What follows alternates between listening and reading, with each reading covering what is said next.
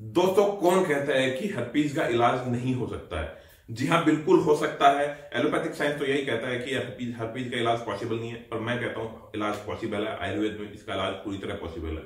तो आज के वीडियो में मैं आपको वही दिखाने वाला हूँ कि मेरा एक पेशेंट जिसको मैंने दो ढाई महीने ट्रीटमेंट दिया है, और वो पूरी तरह से ठीक हो गया है। कहता रिपोर्ट्स के साथ बात करूँगा फैक्ट की बात करूँगा प्रूफ की बात करूँगा, फालतू की बात नहीं करूँगा। तो बने रहिए मेरे साथ वीडियो के एंड तक। नमस्कार दोस्तों, मैं डॉक्टर मनीष शर्मा, और आप देख रहे हैं आपका अपना यूट्यूब चैनल आयुर्वेदा किंगडम दोस्तों जो ये पेशेंट था, जो जैसे कि आप सब जानते हैं हर्पीज वायरस होता है हर्पीज सिंप्लेक्स वायरस कहते हैं इसको, और ये जिसको एच भी कहते हैं, और ये इसका इलाज होना पॉसिबल नहीं है एलोपैथिक साइंस के अकॉर्डिंग एलोपैथी बोलता है, इसका इलाज नहीं हो सकता। ये एंटी रेट्रोवायरल दवाइयाँ देते हैं जो कि आपका जो वायरस है उसको कॉपी करने से रोक देता है, आगे बढ़ने से रोक देता है, पर इसको खत्म करना पॉसिबल नहीं है अकॉर्डिंग टू एलोपैथिक साइंस पर आयुर्वेद में बाकायदा इसका इलाज है, बहुत सी बीमारियों का इलाज है आयुर्वेद में, पर आयुर्वेद की तरफ़ जल्दी से कोई ध्यान देता नहीं ना ही गवर्नमेंट देती है और ना ही लोगों को इसके बारे में इतनी ज़्यादा जानकारी है।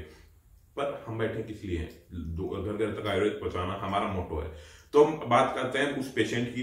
तो वो पेशेंट जैसे कि आप रिपोर्ट देख रहे हो साइड में, ये पेशेंट ने मेरे से इकतीस बारह दो हज़ार बीस को इसने जाँच करवाई थी और मेरे से ट्रीटमेंट लिया था।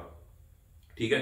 और वैसा कि, जैसा कि आप सब जानते हो भी, इसने रिपोर्ट डाली है, पाँच सात दिन दवाई पहुँचने में भी लगते हैं, ठीक है?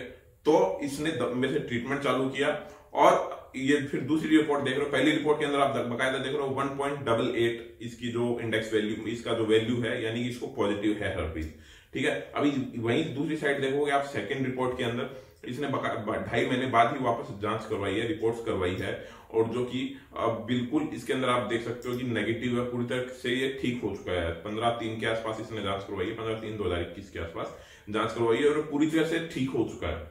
ठीक है? दो से ढाई महीने में पूरी तरह से ठीक हो चुका है, इसको कोई समस्या नहीं आ रही है, बिल्कुल परफेक्ट है, और पॉसिबल हुआ तो ज़रूर इसका इंटरव्यू भी मैं आपके सामने लेके आऊँगा।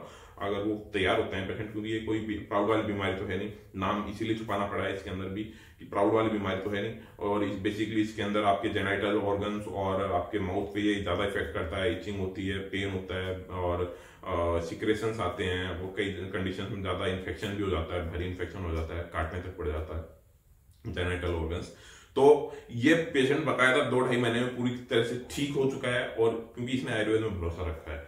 तो जो लोग आयुर्वेद और सच्चाई यही है, जो लोग आयुर्वेद में भरोसा रखेंगे, वो अपनी किसी भी बीमारी से पूरी तरह से मुक्त मुक्त हो सकते हैं, क्योंकि आयुर्वेद है तो सब कुछ पॉसिबल है। जी हाँ दोस्तों, आयुर्वेद में लगभग हर बीमारी का इलाज है। बस आयुर्वेद की तरफ़ ध्यान कोई नहीं देता है। क्यों? क्योंकि लोगों को इसकी ज़्यादा नॉलेज नहीं और गवर्नमेंट इसकी तरफ़ ध्यान देना नहीं चाहती, क्योंकि एलोपैथी जितना पैसा कोई उनको खिलाता नहीं है। कड़वा है पर सच है। ठीक है तो आज के वीडियो में मेरा मकसद ये था वीडियो बनाने का कि जो हर्पीज का जो ट्रीटमेंट है पॉसिबल है, ये दिखाना बिल्कुल हो सकता है। आयुर्वेद में सब कुछ हो सकता है। अगर आपको भी ट्रीटमेंट से रिलेटेड कोई जानकारी चाहिए तो नंबर आपको मेरा डिस्क्रिप्शन में मिल जाएगा वीडियो में भी चल रहा है, और सोशल मीडिया हैंडल सारे मेरे डिस्क्रिप्शन में मिल जाएँगे आपको। तो आज की वीडियो यहीं तक था। वीडियो मेरा बनाने का मोटो यही था कि आपको बता सकूँ हर्पीज का ट्रीटमेंट है, बाकायदा है हंड्रेड परसेंट है। और आप भी ले सकते हो। तो कॉल करें आज ही। मैं मिलता हूँ ऐसी किसी इंटरेस्टिंग जानकारी के साथ नई वीडियो में। तब तक के लिए नमस्कार।